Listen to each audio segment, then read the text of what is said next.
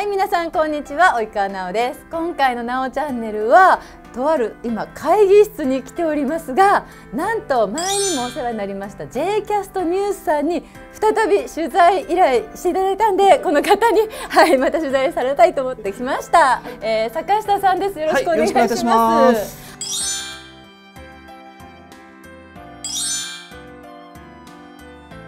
あのせっかくなんで、なおチャンネルにも、はい、ぜひ参加していただきたいと思って、はい、よろしくお願いいたします。はい、お久しぶりです。お久しぶりです。どうも、はい、昨年の9月以来です。また、はい、えー、今日もたくさん質問させていただきたいと思いますので、よろしくお願いします。六月でしたか、はい、前回。そうですね。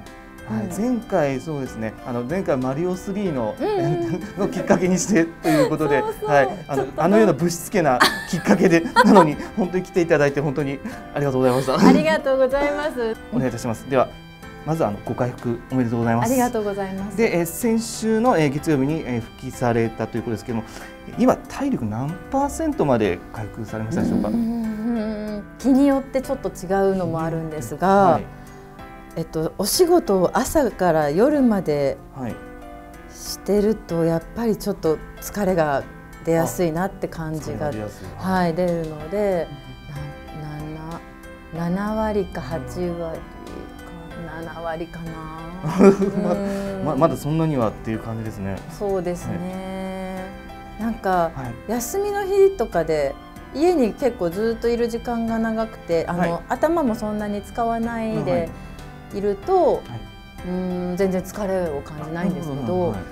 なんかやっぱり集中して何か仕事のこと考えたりとか、なんかこう頭をすごく使うと頭痛うんとかしやすいかもです。確かになんか集中力が戻らないっていうなんか症状をなんかおっしゃることが方が結構なんか報道されてますけど、じゃあまあ及川さん的にその後遺症があるとするならまあ集中力がなかなか戻らない。ちょっとそうかもです。あとはそう頭痛ちょっと疲れると頭痛しやすい。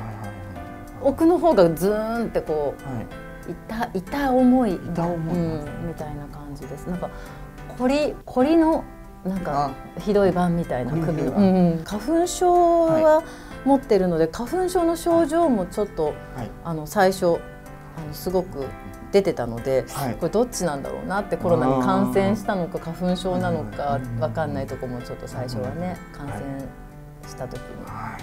分からなかったですね。すごくややこしいというふうになんかねえ、もうね本当です。1月23日に発熱いたしましたが見ていただける病院が見つからずってあります。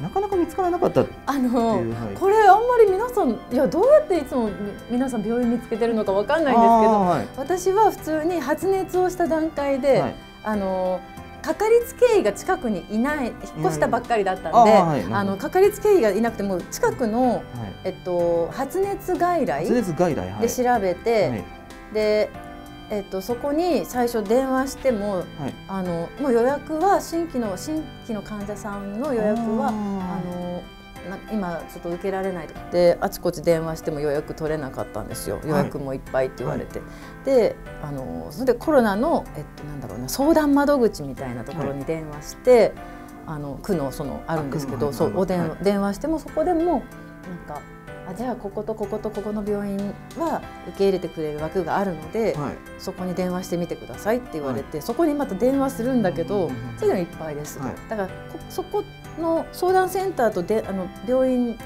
で言ってることが違ったりとか、だから多分パパニックっていうか、はい、でなんだかんだで5日間経ってしまって5日間？でそこでも5日なるほど、そうですよね。病院に行けたのが病院に行けたのが28はいでそのなんでその病院は行けたかっていうと、はい、その病院では PCR 検査できないんですよ。行けた病院が、うん、内科のできない。病院。内科の病院。がそう。そういうところ行けそうそこだったら行けるってなって。なんかお医者さんからの紹介がないと受けられない PCR 検査の場所があるんですけど、そこに紹介してもらって予約。はい予約取ってもらって。2月1日の朝電話かかってきてでそれが保健所からじゃなくて病院からなんですね。病院から。そう。で、えっと、病院からかかってきてえっと、陽性でしたって言われてでしょうねと思って。あでも。よかった。やっぱり自宅でずっといたからよかったなって、はいね。うん、これで出歩いてたらもう大変なことに大変なことになりね,、ね外に出られないっていうのが初めてですからね、うん、だからウーバーイーツあの初めて登録しました。あなるほど。なるほど。便利ですね対面しなくて。便利ですねあれ、これからもし療養する人に向けて言うとしたら何かありますか、アドバイス。とまあウーバーイーツもあ とはねそうだな。足りなかった。あまあティッシュとかそういう生活必需品はストックあった方がいいのと、はい、あとお風呂入る体力もない風呂に入る体力最初のうちないと思いますね。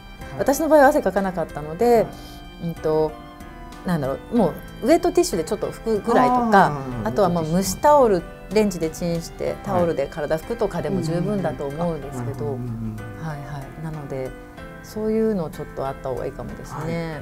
宅配系のものをもうあらかじめ調べておく。そうですね。あとはでもやっぱ一番は、はい、あのきなんかそのかかりつけ医とかがいればいいんですけど、私みたいにもう調べる気力がないんですよまず。もう朦朧としてるから。もうなってからだとも調べる記録すらない。そう。なったら何をするか、はい、その区のホームページとかに多分、うん、なったらこうしてくださいって多分書いてあるんでそれを探すのも、もうなんかだるくて。そうそうそう。そうででなんかあっちこっちねここに電話してくださいっていう番号がいくつもあって。えー、最初どこに電話すればいいんだろうって悩んだんでなるほど、うん、最初にもしかかったらどうするかっていうのははい、調べといた方が熱出す前に調べといて、ね、ちょっと予行演習しなきゃダメですね。どうせその探すのが辛いわけですから読むのだって辛いですよね。そうなんですよ。もうもうそうなんです、はい、ずっと寝転がってスマホずっとこうやってるけど、もうね、そう、うん、大変それが大変です。すみませんあのこれちょっとあの恐縮な質問なんですけど、はい、あの及川さん昨年離婚なさったということですけど、はいはい、パートナーがいない状態での感染はやっぱり辛かった、孤独ですよね。孤独孤独やっぱりはい。すみませんあの全然ですよ、あのでもあの思いましたよね。あの離婚の時にい。ろんなネットニュース私上がってるのに、はい。J キャストさん上げてないと思って、ね、すみません。ねすごい。逆にねそうそうそう。離婚のニュースは J キャストさん上げないでくれるんだと思ってはいちょっと新鮮だと笑ってたんですよ。はい、ややっぱりあの何でしょう初初めて初登場の際からそれほど日も経ってなかったんで、はい、まずいかなと思って。そうなんありがとうございます。なんかね、はい、なんかそうみんながあの触れないところに触れてくれる感じが嬉しい。マリオのどんくさいところがね。恐縮です、コロコロナのこの取材もだって他からはないので、あ、そうなんです、はい、ありがとうございます。そうです。だから全然あの家族とかが、はい、あの実家の両親とかが何か持っていこうかとか、はい、あと結構友達とかが、あの持ってこうかとかいう送ろうかとか、結構言ってくれました。うんうん。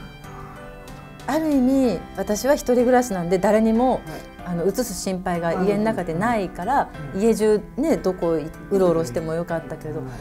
例えば同居してる方がいたら、部屋から出られないとか、隔離、うん本当に隔離しないといけないですね。とかの方が私は想像するとはいろいろ多分気を使うかなって思いました。他にいると助けてくれる人はいる反面、気を使わない。なんかなんか一長一短な感じが、うん、それもそれで大変だろうなっていう